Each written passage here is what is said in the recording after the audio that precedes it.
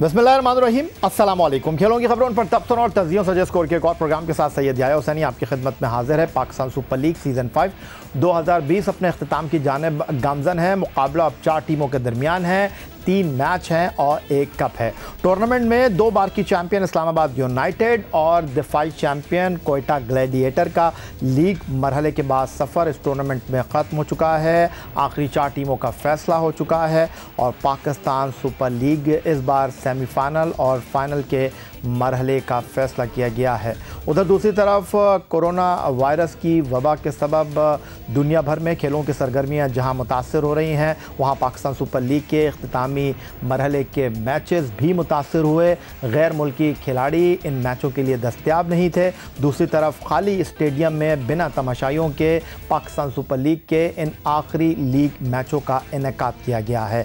لیکن اس وقت ہم بات کریں گے پاکستان سپر لیگ کی سب سے زیادہ متحرک فرنچائز لاہور کلندر کی، جس نے اس بار پچھلے چار سیزن کے برعکس پہلی مرتبہ آخری چار ٹیموں میں جگہ حاصل کر کے ٹائٹل کی دوڑ میں اپنے آپ کو ان رکھا ہے۔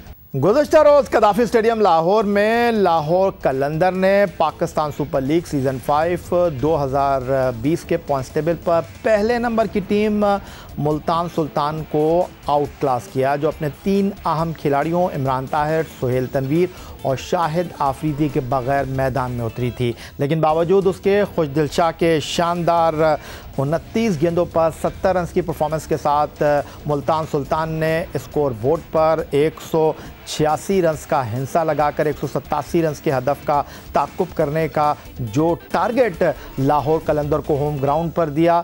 اس میں لاہور کلندر نے کرس لین کی شاندار بلے بازی کے ساتھ، آسانی کے ساتھ ہدف تک رسائی حاصل کی۔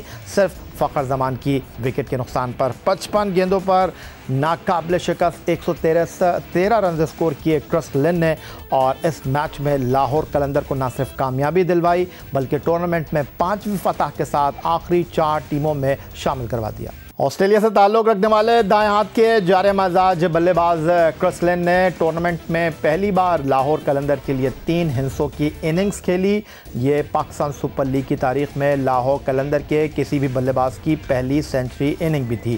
پچپن گیندوں کا سامنا کیا لین نے، ایک سو تیرہ رن بنانے کے لیے آٹھ چھکے، بارہ چوکے ان کی اننگز میں شامل تھے اور دو سو پانچ ان کا اسٹرائک ریٹ۔ پہلی سینچری پاکستان سپر لیگ کی تاریخ میں لاہور کلندر کے کسی بھی بلے باز کی کرسلین کے شاندار ناقابل شکست ایک سو تیرہ رنز کے ساتھ اور پہلی بار لاہور کلندر نے پاکستان سپر لیگ کی تاریخ میں آخری چار ٹیموں میں جگہ حاصل کی اور روڈ ٹو سیمی فائنل کی اگر لاہور کلندر کے Pakistan Super League season five دو ہزار بیس کی ہم بات کرتے ہیں تو لاہور کلندر کا پاکستان سپر لیگ فائیو کا آغاز اچھا نہیں رہا تھا۔ ابتدائی تین میچوں میں کلندرز کو ناکامی کا کڑوا گھونٹ پینا پڑا تھا۔ تین مسلسل شکستوں کے بعد لاہور کلندر نے دفاعی چیمپئن کوئٹہ گلیڈیٹر کو شکست دے کر ایونٹ میں اگر کہا جائے پہلی واپسی کی تو یہ کہنا غلط نہ ہوگا۔ اگلے ہی میچ میں لاہور کلندر کا سامنا اسلام آباد یونائٹڈ کے ساتھ ہوا اور اس کو ٹورنامنٹ میں چوتھی ناکامی کا سامنا کرنا پڑا۔ ٹورنامنٹ میں چار شکستوں کے بعد لاہور کلندر نے مسلسل تین کامیابیاں اپنے نام کی۔ لاہور کلندر نے کوئٹہ گلیڈیٹر، کراچی کنگ اور پشاور زلمی کو قدافی اسٹیڈیم لاہور جو کہ اس کا ہوم گراؤنڈ تھا، شکست سے دوچار کیا۔ اتوار کے روز لاہور کلندر نے ملتان سلطان کے خلاف کامیابی حاصل کر کے سیمی فائنل کا ٹکٹ پکا کر لیا۔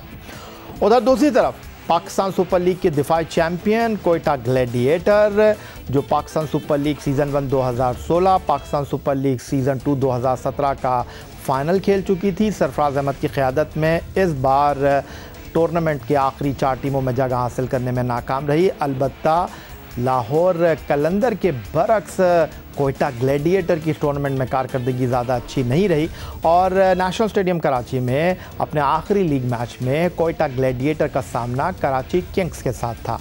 اس میچ میں پہلے بیٹنگ کی کراچی کنگز کی ٹیم نے، جو کہ اپنے مستقل کپتان اماد وسیم کے بنا میدان میں اتری تھی، قیادت کی ذمہ داری پاکستان ٹی ٹوینٹی ٹیم کے کپتان بابر اعظم ادا کر رہے تھے۔ ایک سو اکیاون رنز کا ہدف سامنے رکھا کوئٹہ گلیڈیٹر کے کراچی کنگز نے۔ اور اس ہدف کو حاصل کرنا تھا تین آشاریہ دو اوورز میں کوئٹہ گلیڈیٹر کو، جو اگر کر لیتی تو وہ آخری چار ٹیموں میں جگہ بنا لیتی۔ لیکن اس نے یہ ہدف خرم منظور اور شین واٹس جیکسن کی نف سینچریوں کے ساتھ حاصل ضرور کیا، البتہ آخری چار ٹیموں میں جگہ نہ بنا سکی۔ کوئٹہ گلیڈیٹر پہلی مرتبہ پاکستان سپر لیگ کی تاریخ میں آخری چار ٹیموں میں جگہ حاصل نہیں کر سکی۔ اس میں ان کی کئی غلطیاں تھیں اور ایک غلطی یہ بھی تھی کہ انہوں نے صحیح موقع پر صحیح کھلاڑی کو موقع نہیں دیا اور ایک ایسے ہی کھلاڑی جناب پاکستان ٹیسٹ ون ڈے اور ٹی ٹوینٹی کھیلنے والے خرم منظور تھے، جن کو آخری لیگ میچ میں موقع دیا گیا اور خرم منظور نے اپنے سلیکشن کو درست ثابت کیا۔ تریسٹھ رن چالیس گیندوں پر ایک چھکے اور نو چوکوں کی مدد سے اسکور کر ڈالے۔ پہلی مرتبہ کوئٹہ گلیڈیٹر کے لیے کھیلنے کے لیے میدان میں اترنے والے خورم منظور نے اپنے سلیکشن کو درست ثابت کیا۔ شاندار نیف سینچری کے ساتھ پہلی بار پاکستان سپر لیگ میں کھیلنے کا موقع ملا۔ کوئٹہ گلیڈیٹر کی جانب سے خورم منظور کو کراچی کنگز کے خلاف نیشنل اسٹیڈیم کراچی میں اور خورم منظور نے اپنے پہلے ہی میچ میں شاندار بلے بازی کا مظاہرہ کیا اور تریسٹھ رنز کی اننگ کھیل ڈالی۔ کوئٹہ گلیڈیٹر نے پاکستان سپر لیگ فائیو میں احسان علی اور احمد شہزاد کو موقع دیا، مگر وہ کارکردگی بہتر بنا بنانے میں ہر بار ناکام رہے۔ احمد شہزاد نے سات میچوں میں آٹھ اشاریہ سات ایک کی اوسط سے اکسٹھ رنز کیے۔ احسان علی نے، جو حال ہی میں پاکستان کے لیے بنگلہ دیش کے خلاف ٹی ٹوئنٹی سیریز میں ٹی ٹوئنٹی ڈیبیو کرنے میں کامیاب ہوئے تھے، دو میچوں میں محض سولہ رن ان کے نام کے آگے درج تھے۔ تو اب Pakistan Super League season five دو ہزار بیس کی سیمی فائنل لائن اپ مکمل ہو چکی ہے۔ یاد رہے، پاکستان سپر لیگ کی تاریخ میں اس بار کوالیفائی ایلیمنیٹر نہیں ہوگا۔ کورونا وائرس کے سبب ٹورنمنٹ کو محدود کیا گیا ہے۔ پہلے یہ ٹورنمنٹ بائیس مارچ کو ختم ہوتا، اب اٹھارہ مارچ کو ختم ہوگا۔ Pakistan Super League season five دو ہزار بیس کا پہلا semi final Gaddafi stadium Lahore میں ٹورنمنٹ میں پوائنٹ ٹیبل پر پہلے نمبر کی ٹیم ملتان سلطان اور Pakistan Super League season two دو ہزار سترہ کی چیمپئن پشاور زلمی کی ٹیموں کے درمیان کھیلا جائے گا۔ Pakistan Super League season five دو ہزار بیس کا دوسرا سیمی فائنل پہلی بار آخری چار ٹیموں میں جگہ حاصل کرنے والی کراچی کنگز اور لاہور کلندر کی ٹیموں کے درمیان کھیلا جائے گا اور Pakistan Super League season five دو ہزار بیس کے سیمی فائنل سے پہلے دونوں ہی ٹیمیں اپنی تیاری کے مراحل سے گزر رہی ہیں۔ Pakistan Super League season five دو ہزار بیس کا پہلا سیمی فائنل کھیلا جائے گا جناب۔ منگل کو دوپہر دو بجے ملتان سلطان کا مقابلہ، وہاں کی قیادت میں کھیلنے والی پشاور زلمی کی ٹیم کے ساتھ ہوگا۔ دونوں ہی ٹیموں کو غیر ملکی کھلاڑیوں کی عدم دستیابی کا مسئلہ درپیش ہے، لیکن دونوں ہی ٹیم میں اپنے کھلاڑیوں کے ساتھ اس میچ کو جیتنے کی خواہش مند ہے ملتان سلطان، جس کو آخری میچ میں نو وکٹ سے لاہور میں ہی ناکامی کا سامنا کرنا پڑا تھا شان مسعود کی قیادت میں وہ پشاور زلمی کے خلاف ایک نئے حوصلے، نئے عزم کے ساتھ میدان میں اتر کر کامیابی کو گلے لگانا چاہتے ہیں۔ دوسری طرف وہاب ریاض کی قیادت میں کھیلنے والی پشاور زلمی کی ٹیم ہے، جس کے پاس شعیب ملک جیسے کھلاڑی ہیں، کامران اکمل جیسے کھلاڑی ہیں، جن کو بڑے میچ کا کھلاڑی کہا جاتا ہے۔ بولنگ کی اگر بات کرتے ہیں تو حسن علی، یاسر شاکی انہیں خدمات حاصل ہیں۔ اگر نوجوان کھلاڑیوں کی بات کرتے ہیں تو انڈر نائنٹین ٹیم کے اہم بلے باز حیدر علی کی انہیں خدمات حاصل ہیں۔ عمر امین کو آخری میچ میں موقع دیا گیا تھا۔ تو دونوں ہی ٹیمیں، اگر یہ کہا جائے کہ غیر ملکی کھلاڑیوں کے برعکس نوجوان اور پاکستانی کھلاڑیوں پر انحصار کر رہی ہیں تو یہ کہنا غلط نہیں ہوگا۔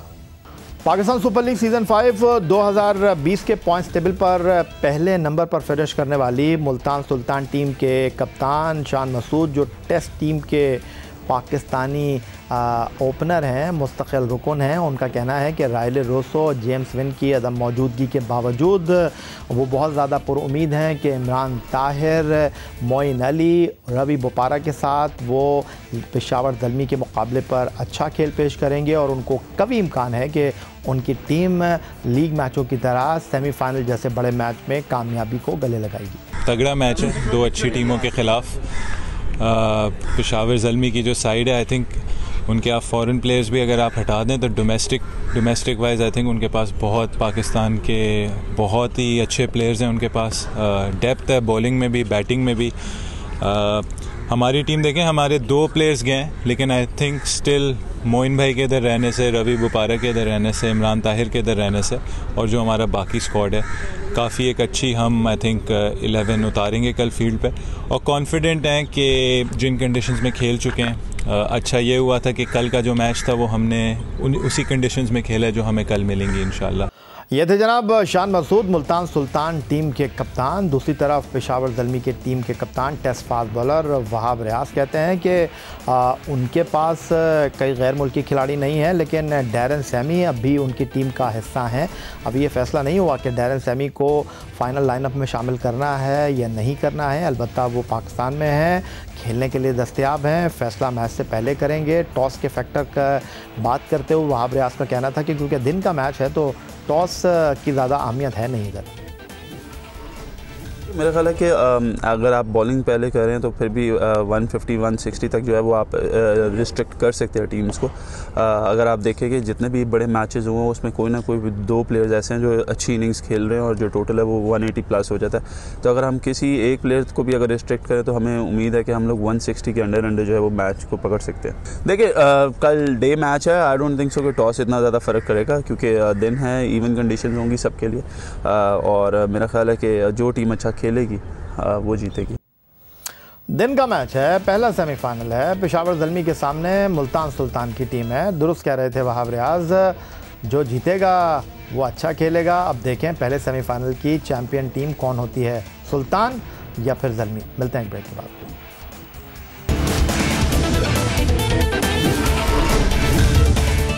کرونا وائرس کی وجہ سے اس وقت دنیا میں اگر یہ کہا جائے کہ ایک بھونچال آیا ہوا ہے، اس وبا کی وجہ سے تو شاید یہ کہنا غلط نہیں ہوگا۔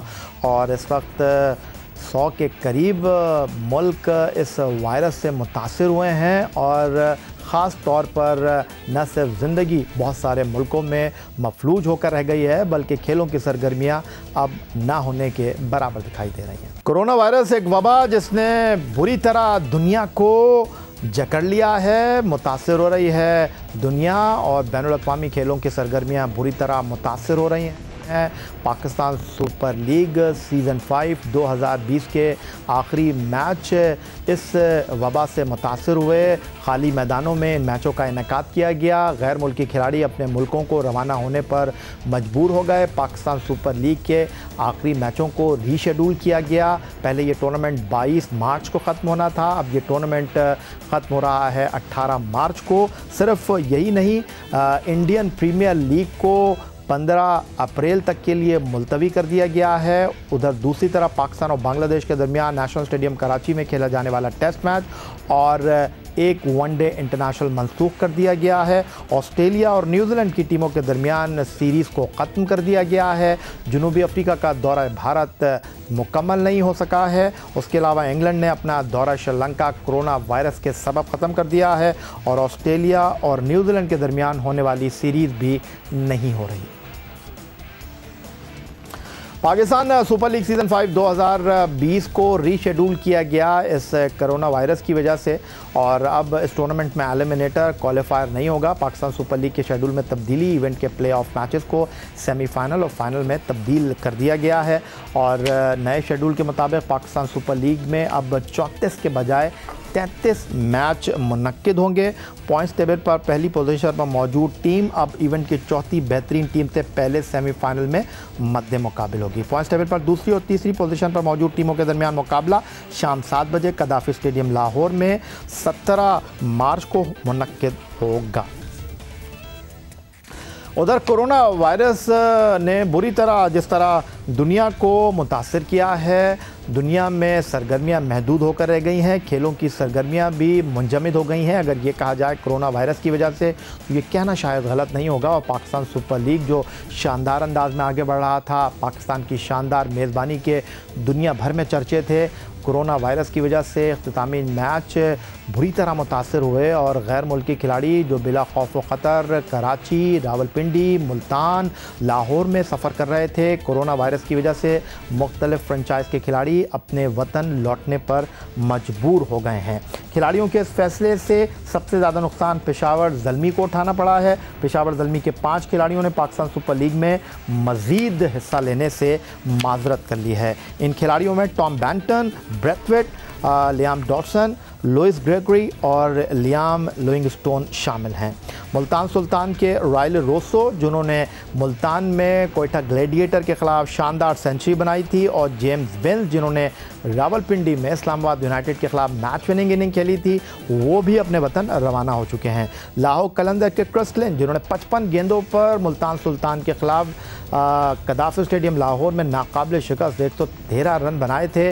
ان کے ساتھ شری لنکا کے سکو کے پرسنا اور جنوبی افریقہ کے ڈیوڈ ویزا اب مزید نہیں کھیلیں گے اور اپنے وطن روانہ ہو رہے ہیں۔ کوئٹہ گلیڈیٹر کے جیسن روئے نے اور ٹامل مل نے اس فہرست میں شامل وہ کھلاڑی ہیں جنہوں نے آخری لیگ میچ میں شرکت نہیں کی۔ کراچی کے ایلیکس ہیل اور اسلام آباد یونائٹڈ کے ڈیل اسٹین، ڈیوڈ میلان اور کولن منرو اور نیوزی لینڈ کے لک رانکی بھی اپنے وطن واپس روانہ ہو چکے ہیں۔ کرونا وائرس نے پوری دنیا کو اپنی لپیٹ میں لے رکھا ہے اور دنیا بھر میں اب تک کی اطلاعات کے مطابق لگ بھگ ڈیڑھ لاکھ افراد اس وبا سے متاثر ہوئے ہیں اور کچھ ساڑھے چھ ہزار کے لگ بھگ افراد لقمہ اجل اب تک بن چکے ہیں۔ چین کے شہر ووہان سے شروع ہونے والا یہ کرونا وائرس اب یورپ تک جا پہنچا ہے۔ اٹلی، اسپین، سوئٹزرلینڈ، انگلینڈ، اس کے علاوہ ہالینڈ کہ اس وائرس نے بری طرح متاثر کیا ہے، جبکہ ایران میں بھی یہ بہت زیادہ پھیلا ہوا ہے۔ وطن عزیز کی اگر ہم بات کرتے ہیں تو یہاں پر بھی لگ بھگ سو کے قریب کیسز رجسٹرڈ ہو چکے ہیں۔ اور اپنے اس پلیٹ فارم سے جاتے جاتے ہم آپ سے یہی کہنا چاہیں گے کہ کرونا وائرس سے بچنے کے لیے جو اقدامات آپ کو بتائے جا رہے ہیں، ان پر سختی سے عمل درآمد کریں، اپنے آپ کو صاف ستھرا رکھیں، اپنے ہاتھوں کو صابن سے دھوئیں۔ اور اگر آپ کو نزلہ کھانسی زکام ہے تو اپنے مولد سے فوری رابطہ کریں۔ اس دعا کے ساتھ کہ اللہ تبارک و تعالیٰ آپ کو اپنے حفظ و امان میں رکھے اسکور کی پوری ٹیم کے ساتھ، اس پلیٹ فارم سے سید یا حسینی آپ سے اس دعا، اس امید، اس توقع کے ساتھ اجازت چاہتا ہے کہ پاکستان میں کھیل اور کھلاڑی ترقی کرتے رہیں۔ اللہ حافظ۔